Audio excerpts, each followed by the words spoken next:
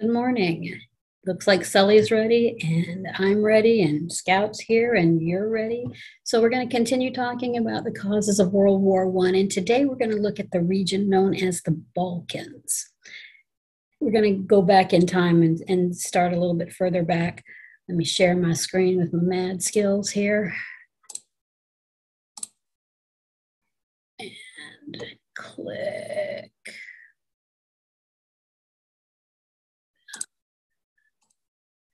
And uh, there. There we go.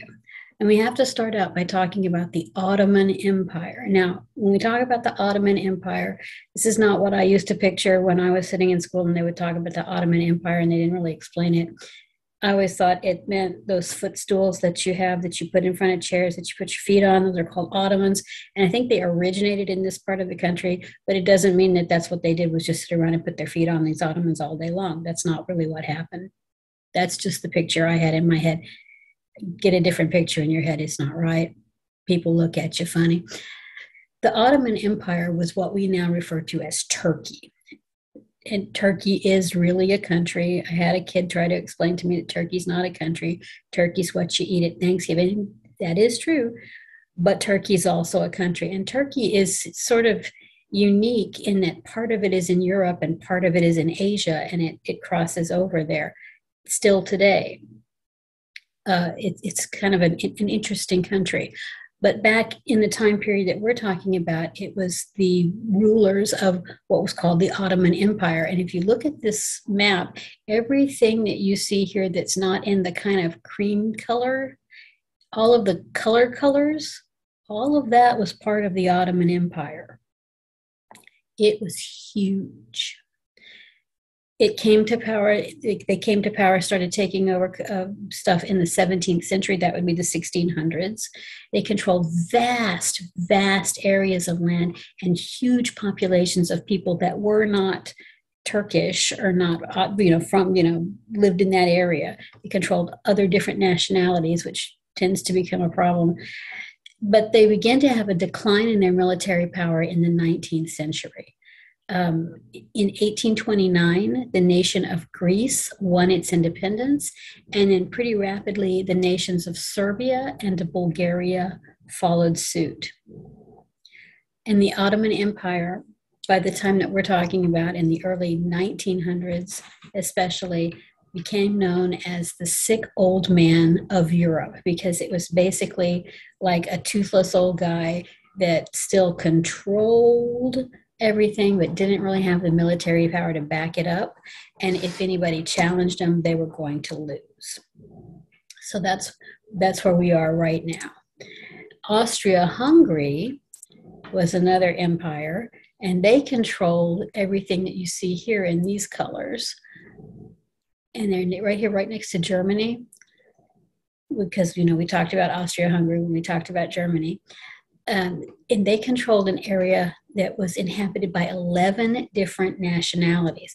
And that's what this map is actually showing you. All of the, the, little different colors, each one of those is a different nationality that's controlled by this one empire that's run by the Austrians, who are German, basically, and the Hungarians, who are basically Slavic. And they kind of joined together and they're trying to grab all these other people in there was an upsurge in nationalism. And nationalism is the belief that people who are of the same nationality should be in the same country together and they should control their own fate and be an independent state. Um, the emperor, emperor of uh, the Austro-Hungarian, Hung, I mean, I can't even talk this morning, the Austro-Hungarian Empire his name was Franz Joseph, and he was determined to stamp out nationalism and keep this from becoming an issue in his empire because it could break up his empire, and he was not going to have that. So, after the Franco Prussian War ended in 1871, we talked about that last time, alliances began to form all across Europe. Germany was allied with Italy and with Austria Hungary. And eventually they allied with the what was left of the Ottoman Empire. Then on the other side, you have Russia, which allied with Serbia, and France and Britain allied with Russia. Now, you see, Bulgaria was allied with uh, Germany and Austria Hungary, and it was also kind of slightly supported, at least, by Russia. I don't think they had a formal alliance at this point. So, all of the major countries are tied to one group, one side or the other. and that's going to become a problem because you've got these two Balkan states here, Serbia and Bulgaria, and that's where the trouble starts. Serbia gained its independence from the, Otto, the Ottoman Empire in 1832. You see, Serbia is right here. Here's Austria Hungary up here. And this area down here Bosnia, Serbia, Romania, Bulgaria down to where the Ottoman Empire starts. This area right here, that's the area known as the Balkans. And stuff was happening there all, and there's Albania here, and I think that's Montevideo. But I, I didn't mention them, and that doesn't stand for mountain. That's a little teeny tiny country called Montevideo. And that that's this is the Balkans right here, and this is the area that is pro- the most problematic in Europe. The fact that Serbia became a, an independent nation inspired um, areas of Austria-Hungary that were inhabited by Serbs. So you've got people up in here that are Serbian as well, and they want to try to become independent. And other nationalities that aren't Serbian are going, hey, man, those Serbs pulled it off. We want to be independent also. so there was a series of Balkan wars in the early 1900s where Serbia was inspiring all these nations, and um, Austria-Hungary was trying to keep these nations, these these uh, little pockets of people from becoming independent, and a lot of the time they were also trying to um, capture Serbia and make it part of Austria Hungary because they were being a problem. And really, Austria Hungary pretty much wanted all of the Balkans. Serbia also wanted more land, and so it was sometimes trying to take some land from uh, the Ottoman Empire, sometimes trying to, you know, gooch a little land from the, the Austria-Hungary Empire. This was a an area that became known as the powder keg of Europe. Now, think of a powder keg as like a big giant bomb a, a barrel full of gunpowder. That's what it really refers to. All it's going to take is one spark, and the whole thing is going to blow up. That's the area we're talking about when we talk about the Balkans in the early 1900s. A big thing of gunpowder, and it's just waiting for a spark. the spark happened with the Archduke of, with the Archduke of Franz Ferdinand. He was the son of the Emperor Franz Joseph and the heir to the throne of the Austria-Hungary Empire. This is him right here. He visited Sarajevo, which was a city in Bosnia, which was part of the Austria-Hungarian Hungarian Empire, on June the 28th of 1914. He and his wife Sophie, that's her right there, were riding in an open car as people did. You know, there wasn't this huge um, idea that people had to be protected as much as there is now. They were riding in an open car down the streets of Sarajevo when they were attacked by this man right here. And I hope I said this name anywhere close to right. His name was Gavrilo Princip. He was a member of a group called the Black Hand. Thank you, Scout. Just keep walking. Ugh.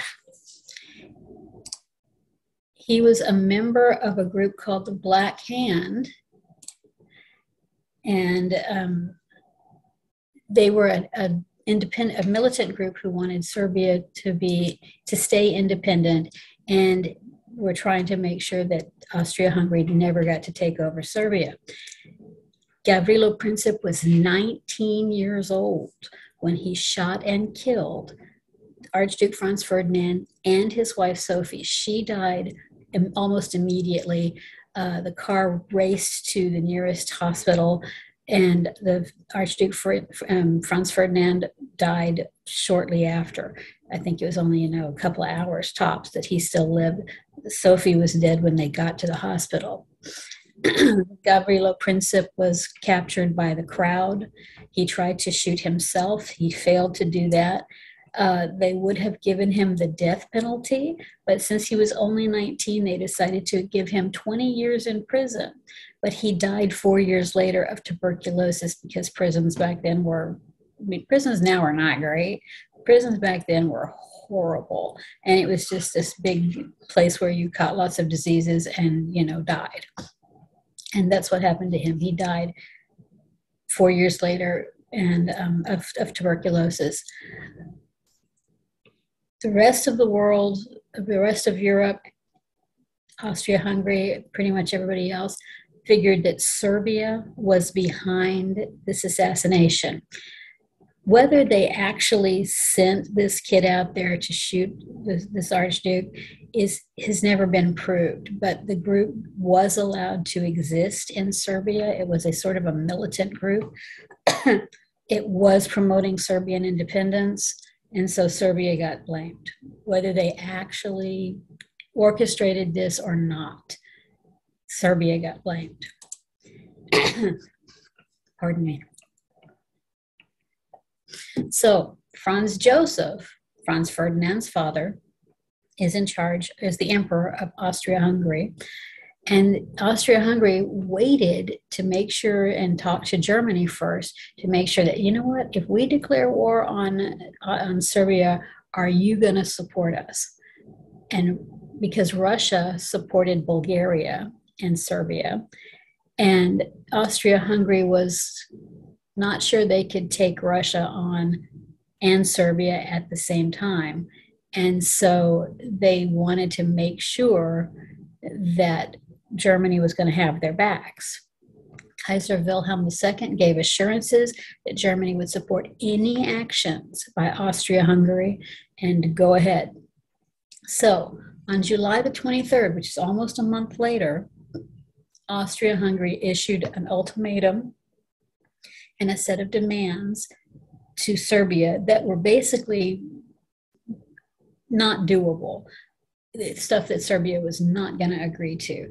And it was designed to make the Serbians mad enough to push them into a war so that Austria Hungary wouldn't have to declare war. Serbia would do it. And, you know, they would make the first move. On July the 25th, so just two days later, Serbia rejected the demands and began mobilizing their armies. Austria Hungary decided this was a hostile act and they declared war on Serbia. So this is when everything starts going into all these alliances start coming into play. Since Austria-Hungary declared war on Serbia on July the 28th of 1914, then Germany entered the war on the side of Austria-Hungary. Well, that triggers Russia. Russia enters the war on the side of Serbia. And then that triggers France and England, and they entered the war on the side of Russia. Italy entered the war on the side of Germany, but later on they switched sides and came in on the side of um, England and France and Russia. The US stays aside and kind of is like, that's their war in Europe. That's not our problem. We're just going to stay over here and we're going to be neutral. But most of the major countries at this point have been triggered into reacting to this situation, which should have been a regional conflict. You know, because it, it, involved basically, it only really involved Serbia and Austro Hungary. But it blows up and becomes a huge world war. We'll talk another time about how the US got into the war and then how the war goes from there. All right.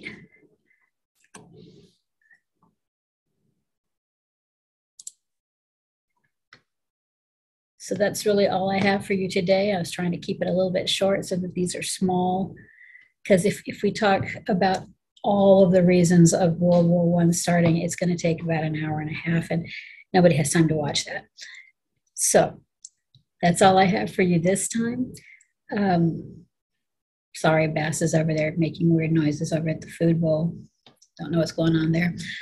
That's all I have for you this time. If you have any comments, let me know uh, like and share, all that good stuff. I will see you the next time. Thank you. Okay, Sully, I think we're done.